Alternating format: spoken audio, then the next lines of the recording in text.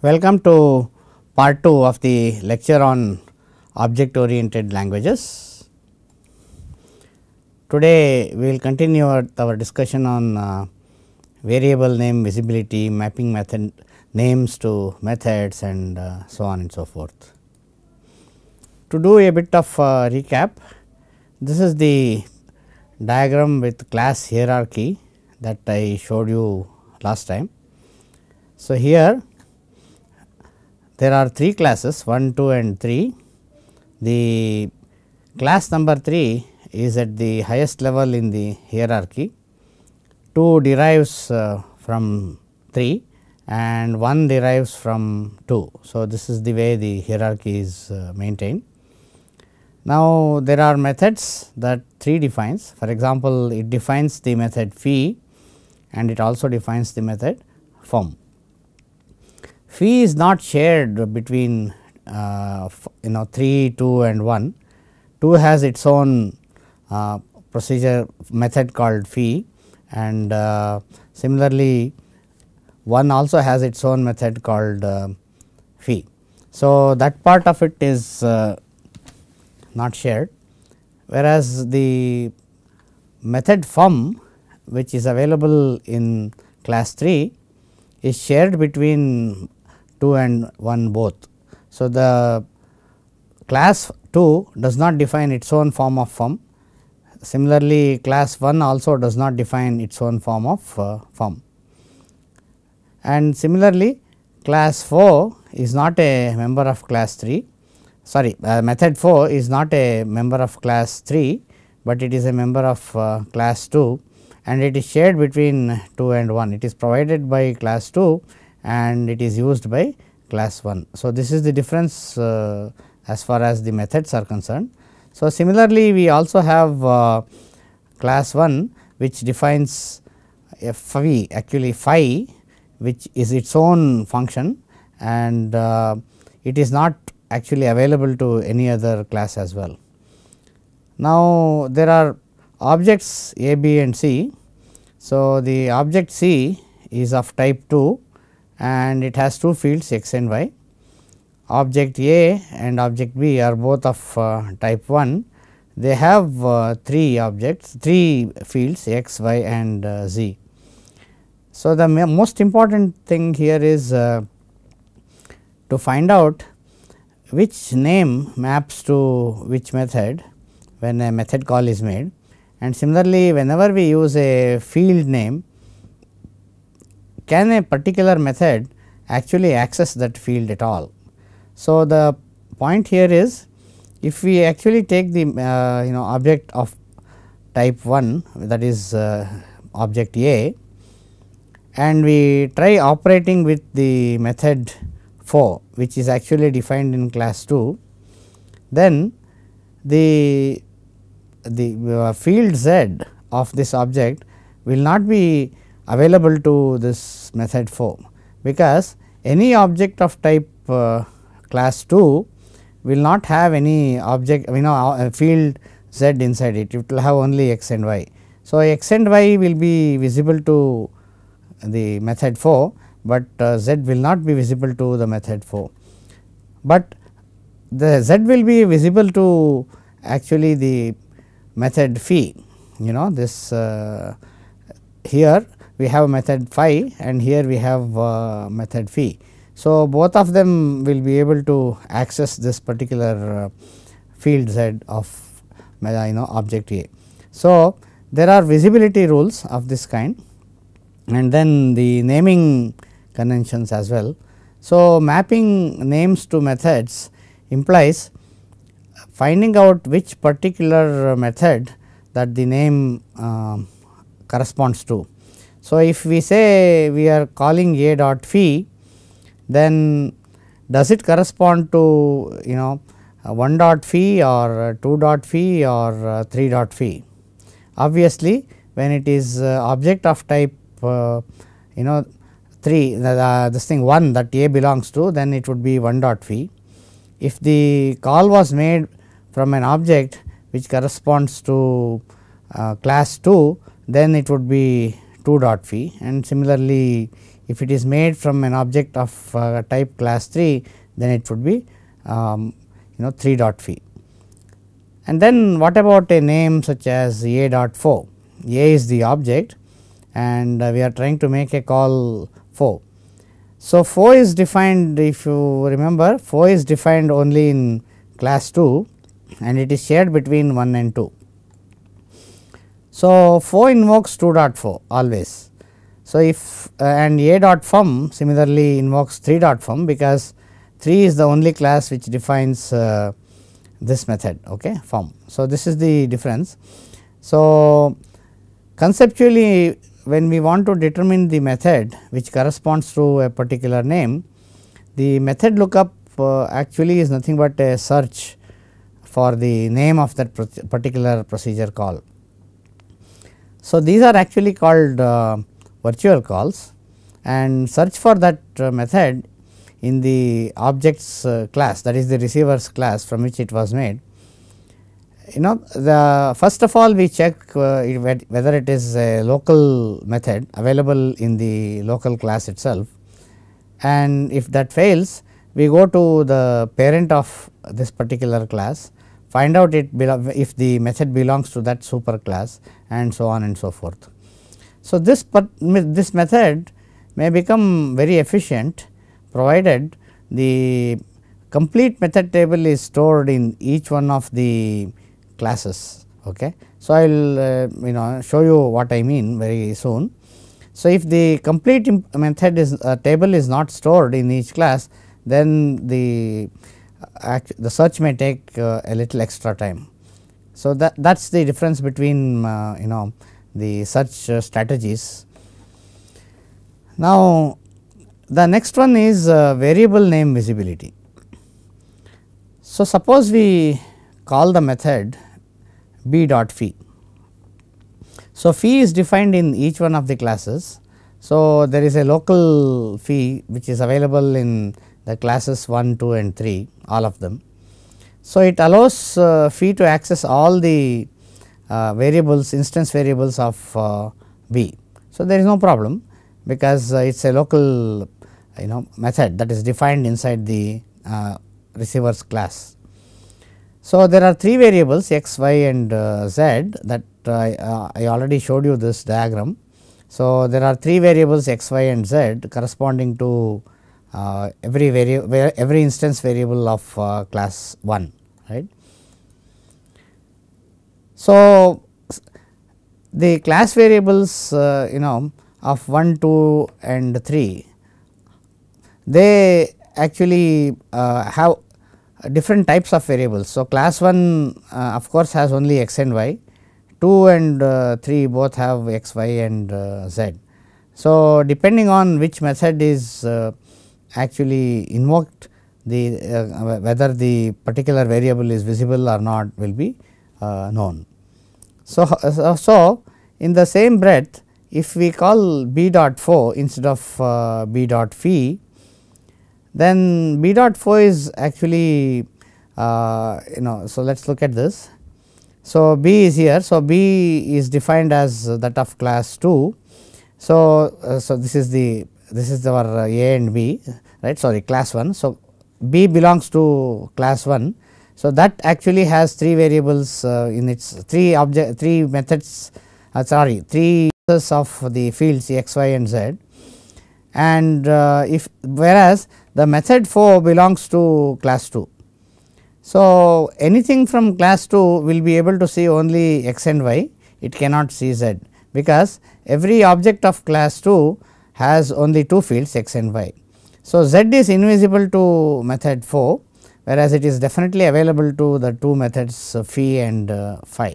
So, this is the two when phi is called from an object of type uh, class 1 not from an object of type class 2. If the method phi is called from uh, an object of class 2 then you know it can again see only x and y. So, the moral of the story is whenever there is a method call you have to see which class that method really uh, rather the object that uh, the uh, we are using right that point belongs to and then determine the uh, instance variables which are relevant to that particular class and then say okay these are the ones which are visible at that point. So, Fo can also access class variables of classes uh, 2 and 3, but not the class variables of uh, class 1. So, this is the difference. So, Fo uh, which is declared by class 1 uh, you know rather class 2 uh, cannot uh, access anything but the variables which are defined in the in its own class. So, this is something that one has to remember very carefully. Now, that is about visibility. So, what is visible to each method right and uh, now how do we generate machine code for the methods. So, methods can access any data member of any object that becomes its uh, receiver. What is a receiver? Every object that can find the method. So, of course, everything is subject to class hierarchy restrictions which I already mentioned. Now, there is a basic uh, requirement from the compiler. The compiler must be able to establish an offset for each data member that applies uniformly to every receiver. This uh, sentence will be very clear uh, very soon.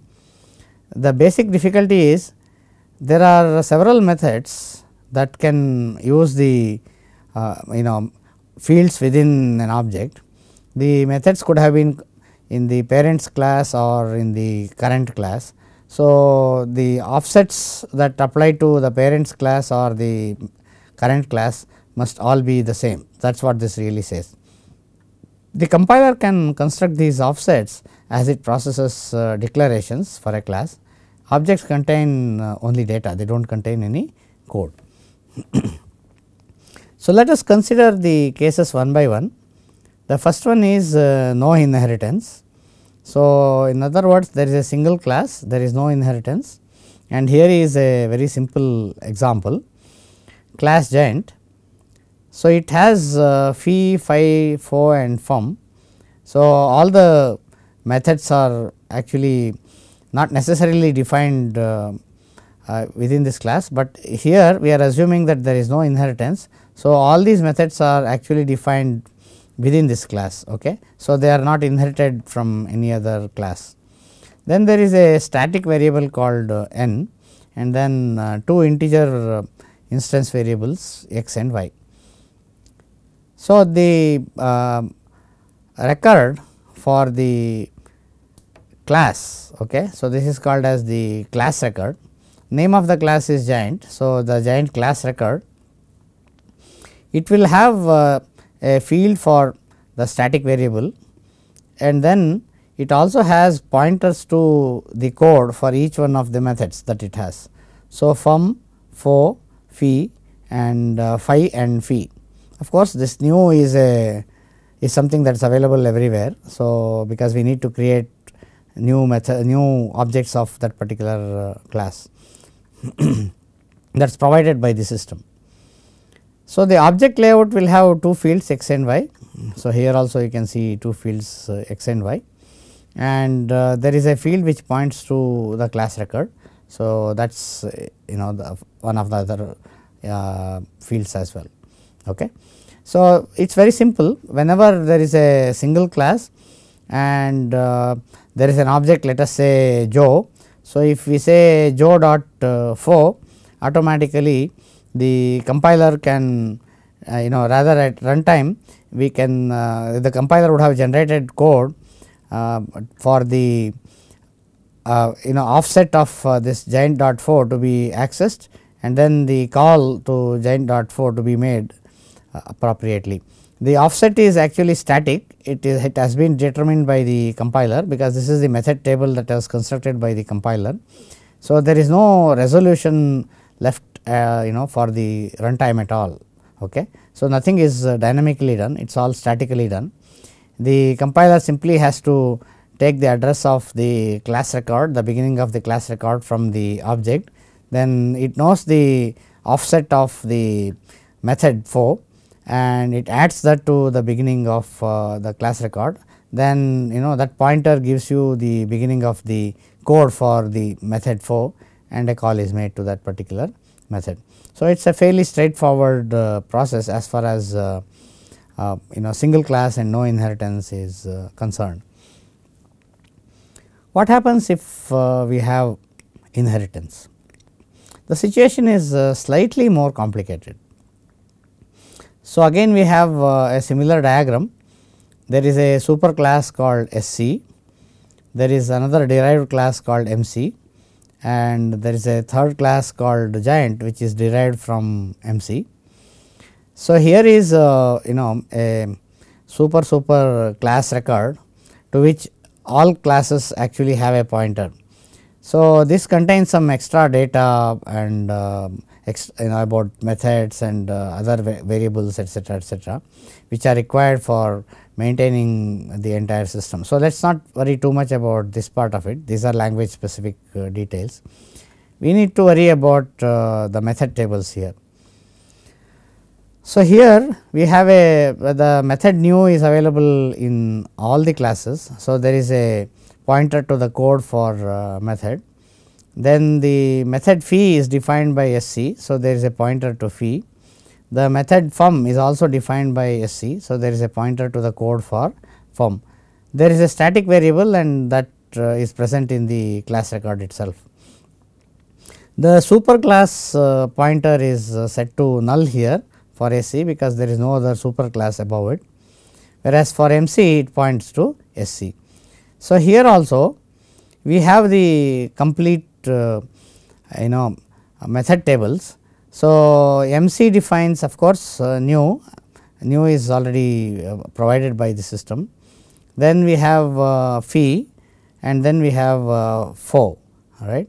So, these are the only three which are provided by this particular class whereas uh, fum is provided by SC. Similarly, giant producer provides uh, new which is already available by the uh, provided by the system. It uh, provides phi and it also provides uh, phi okay? The rest are provided by fo as such. So uh, then there are variables x y and z for each of the objects which are of type uh, giant. Okay? And if there is an object of type mc then it would have only two uh, fields x and y so let us see how to generate code for this type of uh, inheritance hierarchy the basic idea is very simple. There is a class pointer, class record pointer in each one of the objects. Then there is some space for the objects of the uh, you know highest superclass that is SC because the if, if you consider uh, an object of the class which is at the lowest level of the hierarchy that is giant in our case then giant uh, the any data object of type giant must accommodate uh, data members of giant which are very specific to that particular class. It derives from MC. So, it must provide for uh, space for the data members of uh, MC and uh, MC in turn uh, derives from SC. So, giant actually transitively derives from SC. So, the data members of SC must also be provided for uh, by the object layout. So, there are uh, several components in the object layout whenever there is inheritance. They are for each one of the super classes in the hierarchy, the data area uh, some data area has to be set apart uh, in the object layout of the object.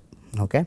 So, every instance variable has the same offset in every class where it exists up in its uh, super class. So, this becomes clear in the picture uh, that I am going to show you now. So, let us not consider the method table for the present, let us look at only the yellow part which is the data uh, record. So, there is a class pointer then we have SC data these are the uh, giant uh, uh, class you know object data layouts. So, then there is SC data, MC data and giant data. So, observe that uh, SC data and MC data is also present in objects of type uh, MC and then uh, only SC data is present in objects of type SC. But the most important thing is the space that is provided for the SC data in the uh, you know any object record of type class SC must match exactly with the SC data space that is provided in both objects of type MC and objects of type giant. So, that is a very important thing. So, if there are 5 variables let us say here there is only one, if there are 5 variables in SC and they are listed in a particular order in the uh, SC class record then uh, rather uh, SC object record then it they must be listed exactly in the same order in the derived uh, class objects as well that is MC objects and giant objects. The same is true for MC data when uh, we look at object layouts of uh, you know objects uh, corresponding to class MC and class giant. This of course will not have any information about MC because this is the super class and MC is the subclass. So, the space provided for MC data here and the MC data here must match okay. The amount must match and the offsets must also match. So, the offset of the MC data area is this much okay. This is the offset it must be the same offset here also okay. And uh, that is why the giant data members actually come at the end. Other if the giant data members were to be here then you know it would have be really chaos. Whenever we call a method corresponding to class SC from an object of class uh, giant, it would actually treat the first area as uh, SC data. So, if we had uh, giant class data here, it would be incorrect data as far as that method is uh, concerned. So, when a class uh, the you know the method tables also follow a similar sequence as above. So, and then there is another very important point before we move on to that picture. When a class redefines a method defined in one of its super classes, okay, the method pointer for that method implementation must be stored at the same offset as the previous implementation of that method in the super class. I am talking about uh, complete method uh, tables. So, let us understand what this really means. So, here is the method uh, pointer table for the uh, you know inheritance hierarchy here. So, consider the class record for uh, class SC that is the one which stores the method tables. So, there is a class pointer of course, uh, then the super class pointer, there is a new pointer this would be common for all of these okay. and then the pointer to phi and pointer to fum. Now, what we really say phi is of course redefined by the class MC and it is also redefined by the class giant. Okay. But the pointer to phi is now let us say the first, second, third, fourth okay, right in, in this class record. It must be fourth in the class record for MC and it must be the fourth one in the class record for giant as well. So, it is so. If it is not then you know uh, it is not possible to statically say okay this is the correct place at which uh, the pointer to the method phi exists. So, there must be some uniformity in these uh, class uh, records to store the appropriate uh, method uh, pointers. Then we have fum pointer here. Fum pointer actually is implemented by the class SC and it is shared by classes MC and giant as well. So, the fum pointer is in the next one and it, it is actually in the same position as far as uh, class record SC, MC and giant are concerned. So, that is that those are the only ones which which uh, are provided in class record SC. Now, between MC and giant again we have uh, the pointer fo so, pointer fo must be in the same position as far as relative position as far as these two class records are concerned and then the 5 pointer of course is at the end.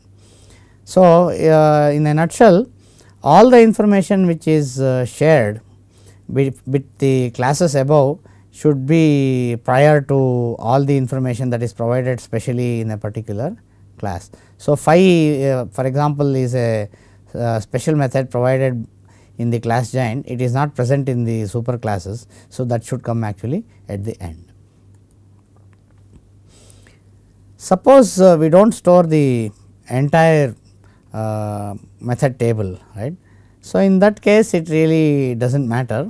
So, we store only the corresponding uh, uh, methods which are changed or which are new, but whenever we provide for a common method across. So, we, we redefine phi in both MC and giant. So, it must be present in the at the same offset as far as all the three class records are concerned.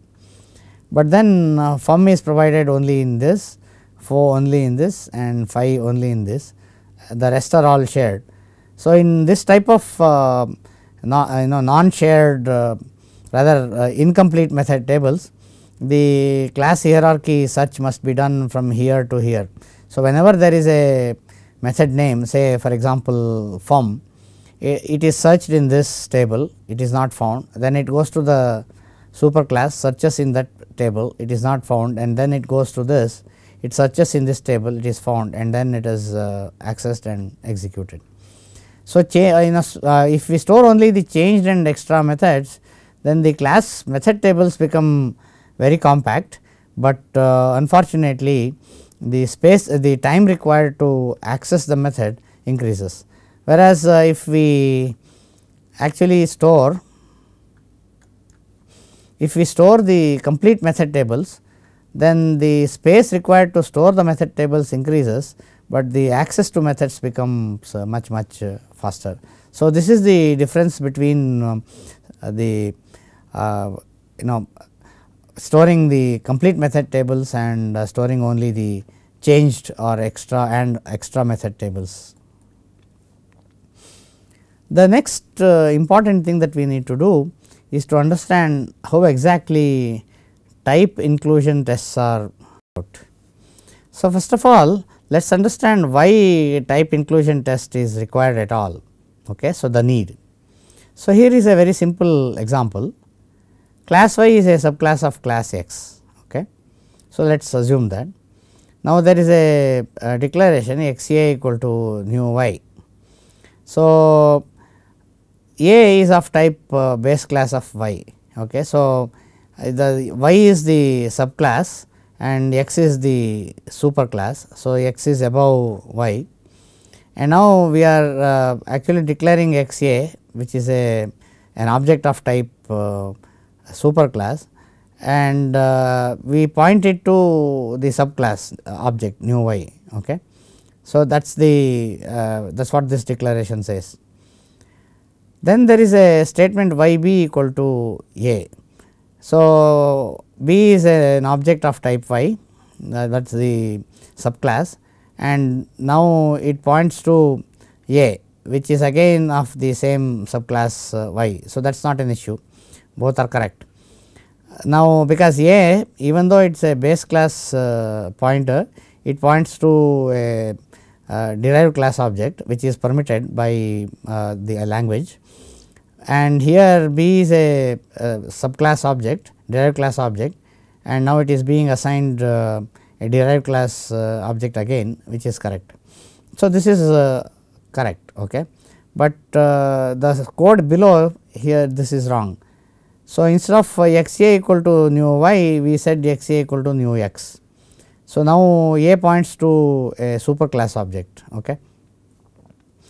Now, we say y b equal to a. So, whereas uh, b is a subclass uh, object.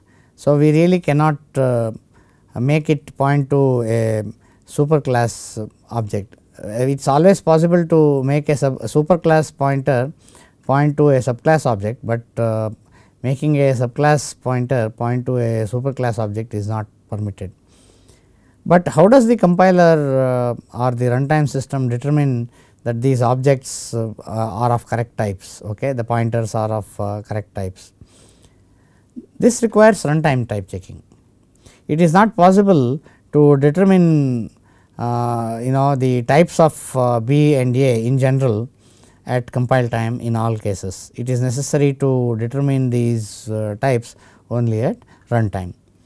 So, and secondly Java has an explicit uh, instance of test that requires uh, runtime type checking. So, I can say instance of and give an object and then it should uh, return the class to which it belongs to. So, that is also something that is uh, very important uh, in the Java language and its programs. So, if in all for all these reasons we will require uh, methods to do uh, type inclusion tests at uh, runtime. How does one do this? Simplest would be to store the class hierarchy itself. Okay. So, if you store the class hierarchy graph in memory, so for example, this is a class hierarchy graph. So, this is the highest superclass and all these are uh, subclasses. Okay. So, this means uh, single inheritance whereas, uh, this is really multiple inheritance. So, if there is a single inheritance then you know I have a single parent. So, D has a parent B, B has a parent A. Whereas, if there is multiple inheritance for example, consider E or C right. E has two parents B and C, similarly C has two parents A and H and so on and so forth. So, multiple inheritance uh, is always very difficult to manage. So, and we are not going to study this topic in our course, okay. this is meant for advanced uh, study. So, if you have single inheritance, how does type inclusion work? Suppose I am given an object right, then the, this is a class point and the, this node in the class hierarchy graph can be obtained through the class pointer that is not an issue at all. So, once I get the class uh, pointer I can check uh, its parent and its parent and uh, so on and so forth. Okay. So, now class uh, the type inclusion test can be performed. If the question is is D a subclass of uh, A, we start from D go all the way to the root and in the uh, in the path we get A then the answer is yes otherwise the answer is no. For example, for D and A we get the answer yes, but for D and E we do not get the answer as yes. So, because we reach A which is the highest uh, superclass, but we did not meet uh, E on the way. So, that is why search and check if one node is an ancestor of the other and the traversal is quite straightforward to implement only for single inheritance. It is very cumbersome and slow for multiple inheritance because we need to check all paths execution time increases with uh, depth of class hierarchy. So, for example, if we want to determine the type inclusion for B and C is B an instance of A, is C an instance of A etcetera or is B an instance of C whatever the question is. If you want to do the inclusion test for uh, nodes at this level then you know one hop is enough to determine whether the answer is yes or no. Whereas, uh, for nodes at this level it requires 2 hops and for the node at this level it requires 3 hops to determine the answer. So, if you have deep uh, hierarchy then the amount of time needed to determine uh, type inclusion would be more. Okay. So, for the nodes which are at the lower level. Another way of uh, uh, storing information about uh, the class hierarchy is to use a binary matrix. So, the matrix uh, has columns which are um, named as the after the classes Again it has rows which are again named after the classes. So, class types on this side and class types on this side as well. And if we have uh, say class C 3 and we want to check whether it is uh, a descendant of class C 4, we just have to look up the entry BM of C 3 comma C 4. So, if the entry says 1 then yes indeed uh, uh the answer is yes and if the entry is 0 then the answer is no. So, uh, BM of C i comma C j equal to 1 if and only if C i is a subclass of uh, C j. So, even the transitivity is uh, taken care of here. So, it is not just one level, but uh, all the levels of the hierarchy are coded as 1 or 0 inside this uh, binary matrix. Tests are very efficient but the matrix will be very large in practice right. So, we have this matrix which is uh, quite large and the space required for the matrix uh, once it is uh, very large uh, the access method uh, you know uh, actually has to be cut down will be quite low, but to store very large matrices we actually use some compaction. So, if the matrix is compacted then you know BM accessing BM of Ci comma Cj is not going to be an one time um, uh, access, but it will be much more than that. So, if the matrix is available in the form that is shown here then accessing it is uh, very easy, but uh, if it is coded then you know access time also increases. Of course, uh, this uh, the major major advantage of this matrix approach is that it can handle multiple inheritance as well, uh, whereas searching the class hierarchy using the tree or the graph uh, was much more difficult. There is also another very elegant uh, method which works only for single inheritance and extensions to handle multiple inheritance are very difficult, very complicated. This is called relative or Schubert's uh, numbering. So, basically we are given the uh, class hierarchy that is at compile time. Okay. So, we do not have to store the class hierarchy at runtime. If we have to then the method has no advantage. So, let us assume that there is single inheritance and the class uh, hierarchy tree is given to us. Okay. So, here is the class hierarchy tree. Now, we do a post order uh, numbering of the nodes of the class uh, hierarchy tree. So, the second component in each one of these uh, pairs is the post order numbering. So, obviously, post order walk over this tree goes to uh, starts with uh, D. So, this gets 1 then it goes to the parent it gets 2 then it goes to the parent which has a right child. So, we go down the right subtree all the way to G that gets a number 3, then the this E gets number 4 and then uh, we go to C and go down the right subtree that gets number 5, then C gets number 6 and A gets number 7. So, this is the first step as far as uh, uh, you know this relative numbering goes. Now, we need to determine the first component. So, second component is already determined. This is the RDML number of the node A in a post order traversal of the tree. So, what is the first component uh, LA? So, to define that we must define uh, this relation called subtype of. So, let this uh, angle you know this bracket with an underscore denote the subtype of relation so, all descendants of a node are subtypes of that node. So, obviously that is true for a uh, inheritance tree anyway. So, this uh, subtype of relation obviously is reflexive and uh, transitive uh, that is very easy to see you know. So, we have uh, D is a subtype of B and B is a subtype of A. So, D is obviously a subtype of uh, A and every node is a subtype of itself. So, reflexive and transitive properties are true. What is LA? LA is minimum of uh, RP such that P is a descendant of uh, A. So, if I consider a node such as A, then we look at the post order numberings of each of the nodes, find out the minimum. So, in this case obviously 1 is the minimum so, 1 happens to be LA of this particular node. The same is true for B, it is among its descendants 1 is the minimum. So, 1 is a is the you know the first component of this as well. Obviously, the 1 is first component first the component of D as well.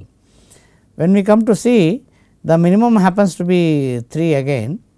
So, 3 is the uh, first component of this node, this node and this node and for this node uh, this is on its own. So, 5 is the only thing that appears. So, 5 is the first component of this node. Now, the test says A is a subtype of B if and only if R A is between L B and uh, R B.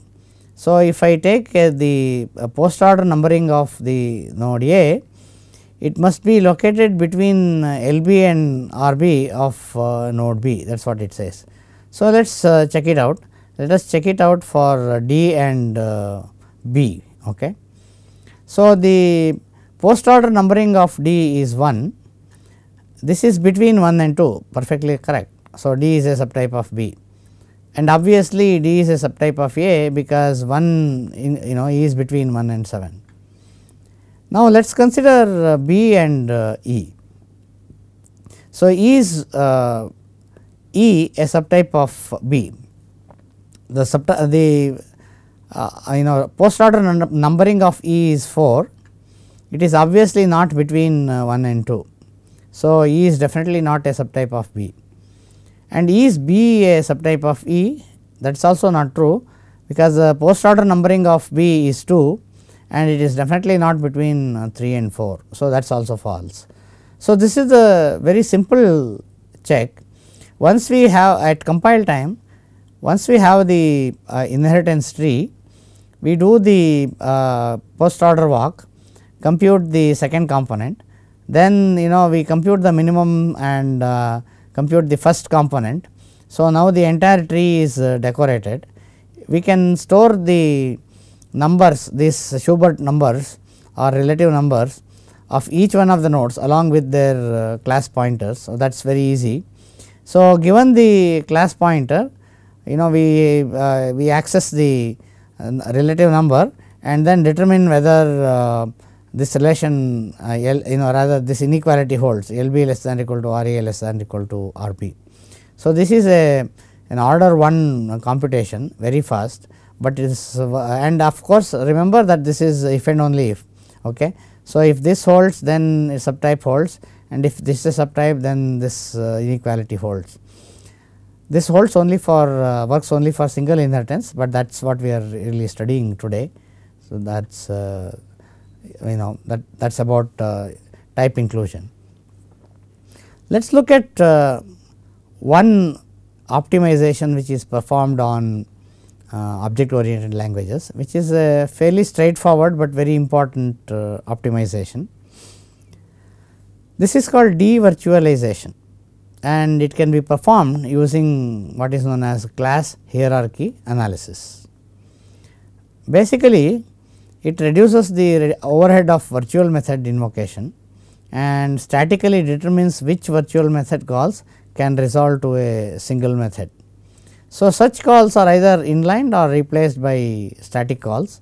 So, basically we want to avoid searching the method tables at runtime but uh, this can be done only in certain number of cases not all cases.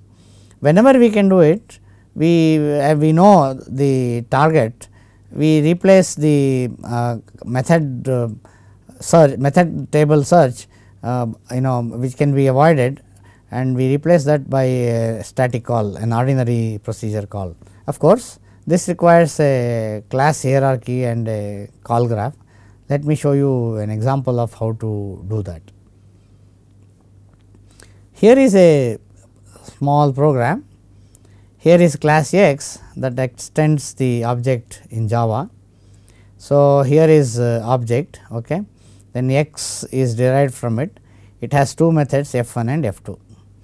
Then y is derived from x and it has a it redefines the method f 1 then again z uh, you know inherits from x and it redefines the method f 1 as well.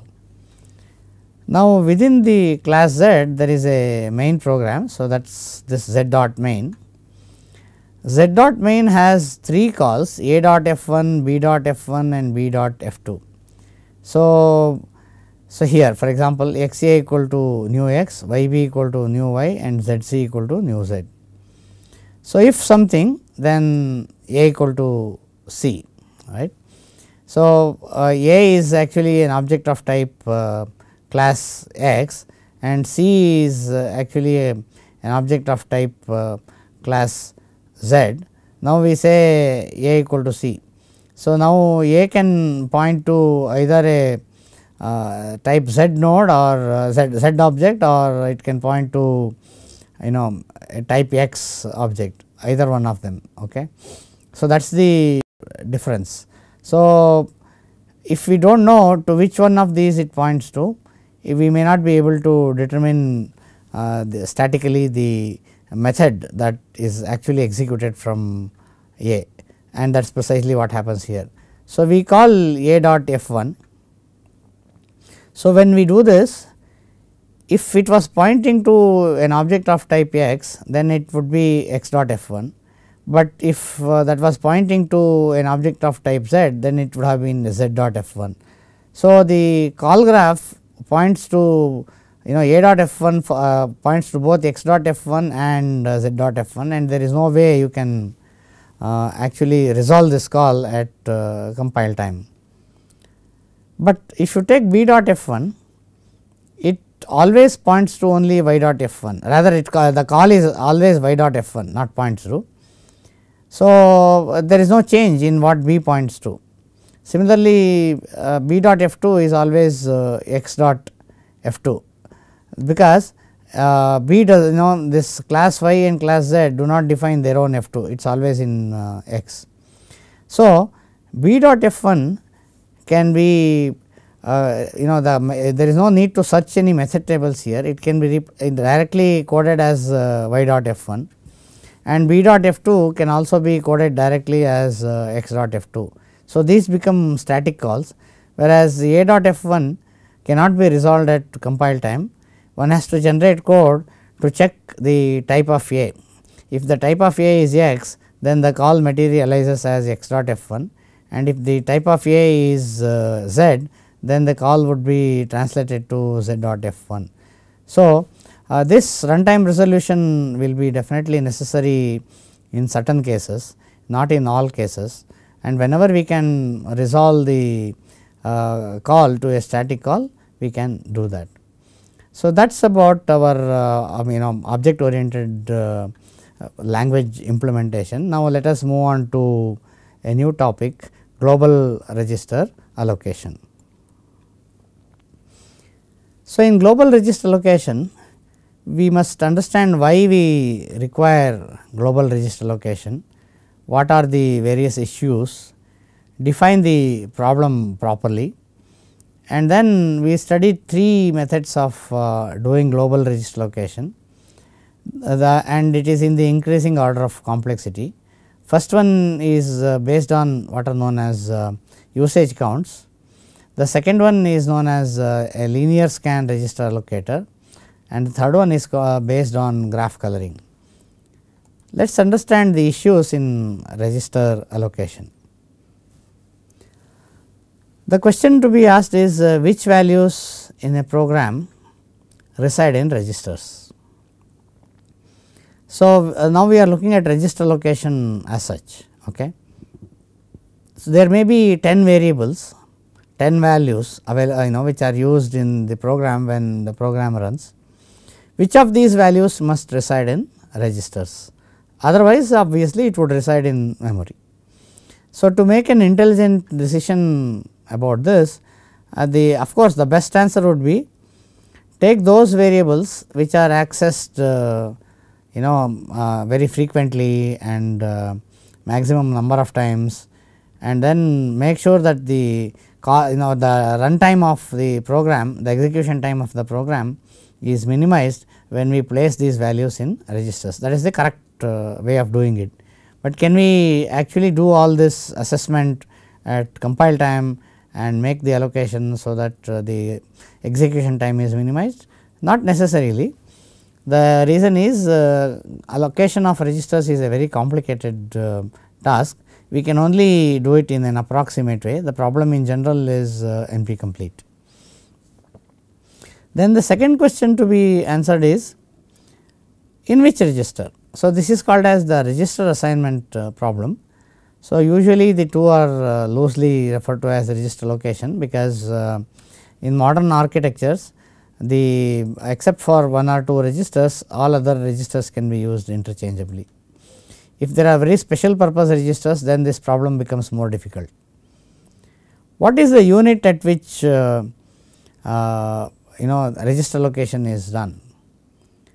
For example, if it is a local register allocator then it uh, does register allocation at the level of basic blocks.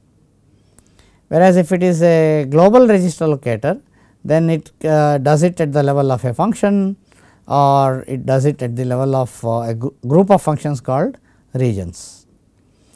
Or of course, it could also be group of uh, basic blocks in a program and that would be a loop or uh, a nested loop or something like that.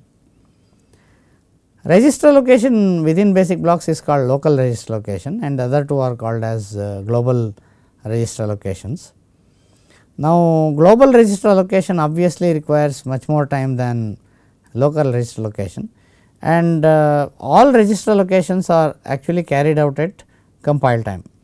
Of course, there are uh, you know exceptions to this we will see that uh, very soon. Now, Phase ordering between register allocation and instruction scheduling is a well known problem. Instruction scheduling is nothing but uh, reordering of instructions, so that uh, pipeline hazards are eliminated. So, if we do register allocation first, then the movement of code during instruction scheduling is restricted. So, this is not uh, you know you know recommended.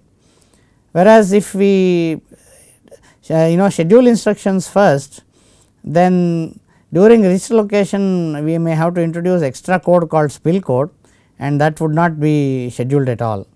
So, what we do as a practical in practical situations is do scheduling first then do register allocation okay, and then uh, require uh, do scheduling again. So, to handle this spill code. So, two passes of uh, scheduling would be done. Now, there is a trade off between speed and quality of uh, allocation as well even at uh, whether it is compile time or whether it is run time. So, let us see what happens. So, in some cases for example, in the case of just in time compilation of Java, compile time is actually uh, you know limited to producing the Java bytecode but uh, during the execution of the Java bytecode, there is a phase of uh, machine code generation which is called just in time compilation which is performed to increase the speed of that code.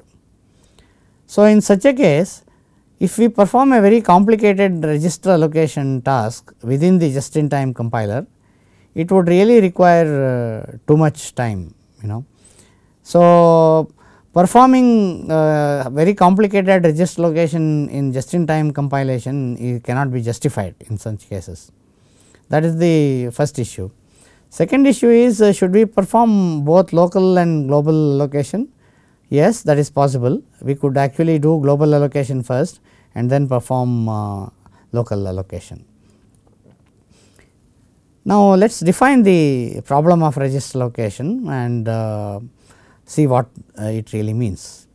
So, global register allocation assumes that allocation is done beyond basic blocks and usually at the function level and the problem is uh, you are given an intermediate language program it is represented as a control flow graph you are given you know uh, k registers as well so that is the number of registers available is there an assignment of registers to program variables such that no conflicting variables are assigned the same register. In other words, two variables which actually are live at the same time should not be given the same register. Of course, there must be no extra loads or stores introduced uh, because of this assignment and at most k registers are used. You could use less than k registers, but you can not definitely use uh, more than k registers. So, this problem so, that is again let me summarize you are given k registers there are many variables in the program. So, uh, what the can we is there an assignment of program variables such that uh, no conflicting variables are assigned the same register and we do not use more than k registers at that time at any point in time. So, this problem has been shown to be NP hard by Ravi Sethi and uh, we use a very popular heuristic called uh, graph coloring to solve this problem, but there are other many other simpler algorithms as well. So, the difficulty here is if there are a very large number of registers then you know the, uh, the it is possible to assign variables to registers very easily. The problem starts when there are very few registers and uh, it, uh, we have to intelligently assign variables to the registers. So, some of the registers uh, some of the variables cannot be assigned registers. So, they will have to remain in memory. So, that is the basic problem here. Graph coloring is used as a popular heuristic to perform this um, allocation. So, in graph coloring to very briefly the colors are the registers we construct what is known as a conflict graph and then uh, apply reduction on the conflict graph to achieve uh, coloring. So, we will stop at this point and continue with the discussion on uh, uh graph coloring in the next lecture. Thank you.